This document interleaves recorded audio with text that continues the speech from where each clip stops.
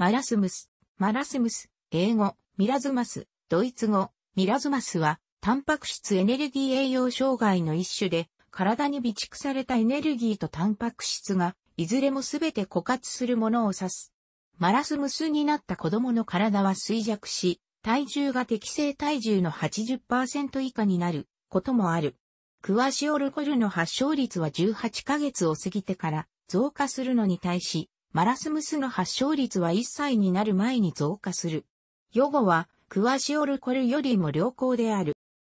マラスムスが発症するのは全般的な栄養不良に陥ったために、タンパク質、脂質、炭水化物が不足している時である。この疾患は発展途上国においてしばしば発生する。とりわけ血離れして離乳食を口にし出したばかりで十分なエネルギーを摂取できない子供に発生しやすい。この病状は栄養失調のために吸収と消化が妨げられやすくなることによって一層強められる。よってマラスムスの子供たちは消化酵素の機能の不足と腸内の脂肪を吸収する単重酸の機能の阻害とを示す。酵素や単重酸の減少は膵臓ないし肝臓でのこれらの酸性が停止することによる。単重酸はさらに増殖したバクテリアによって変性させられ、その機能を失う。栄養失調の特に目立つ特徴は体重の減少である。これは体がエネルギー源として備蓄しておいた脂肪を利用するためである。生命の維持に必要なタンパク質を枯渇させないように、できるだけ長く産生し続けるために、筋肉の量が骨格筋、心筋ともに減少する。腹部は通例は膨らみ、顔にはシワができる。罹患した子供は、時には老人のように見えることもある。マラスムスの患者はしばしば怒りっぽくなったり、イライラしやすくなったり、空腹が止まなかったりする。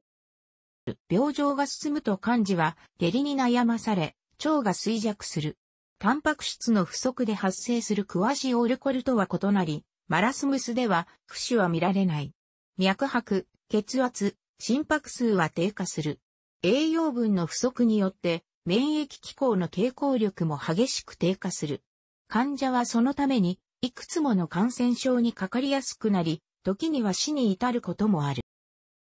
マラスムスを発症している小児には、成長の遅滞が見られる。罹患した子供が成人年齢に達した時に知能に悪影響が出るか、どうかについては、未だ議論が続けられている。マラスムスは、漢字の体重が標準の60%かそれ以下であっても不死が生じていなければ診断上安全であると考えられている。不死が生じているならば、全体的な栄養の欠乏と、タンパク質欠乏によるクワシオルコルトが混合した状態であると言える。マラスムスの治療は、風の基準に従って進められる。この10ステップの治療基準は、マラスムスとこれに、類似の栄養障害であるクワシオルコルの両方に適用される。患者の体温の下降は、脂肪組織の減少が起きることによるものなので、体を温めることで対応できる。体温は管理されるべきである。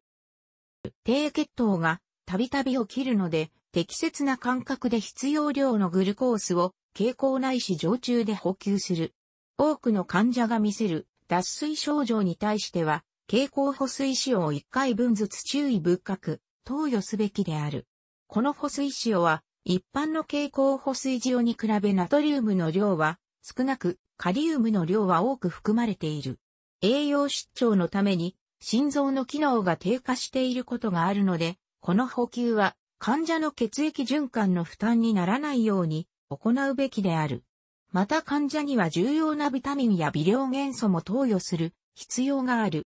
マラスムス患者では免疫系が低下していることがあるので、感染症にかかっても一般的な症状、発熱などを呈しないことがある。そのため、疾病の兆候を見せていなくとも、広域スペクトル型の抗生物質を投与すべきである。マラリアに対する治療法も考慮に入れる必要がある。電解質の蓄積が不足していることもあり得るため、風の奨励する方式に従って、カリウムとマグネシウムも補給させるべきである。患者の肝機能は通常低下しているため、患者は急速に投与されたタンパク質を適切に代謝できないこともあり得る。これは最悪の場合には、アンモニアの過剰な蓄積につながり、尿素回路におけるアミノ酸の合成や分解に問題を及ぼすことにもなり得る。その結果命に関わる感性昏睡になる可能性もある。またこのほか、飢餓による心理的、社会的な結果に対して人間らしい援助をすることが進められる。治療の終了までには栄養失調の原因が分析されているべきである。原因をもし可能ならば排除することで患者の共に暮らしている家族なり生活共同体なりの中で生活を営めるようになる。1991年にパキスタンのカラチ州に住む仮想階級の女性150人を対象にして、マラスムスについての意識調査がなされた。この病気を医療で治せる栄養失調ないし下痢による吸収不良と結びつることができたのは、ごく少数のもののみであった。大部分のものは、この病気が栄養不良の子供を持ったり、宗教的に汚れた状態にあったりする女性との接触を原因として起きると信じていた。発病の仕組みは、調査対象の大部分の人たちにとって、宗教的な要素に介せられていた。同じように、大部分の人たちが、病気になった子供たちを治すのに、医科的治療を受けさせたり、良質の食物を与えたりするのは必要ないとみなしていた。女性たちは子供が生き延びることをほとんど期待できないものと強く認識していた。楽しくご覧になりましたら、購読と良いです。クリックしてください。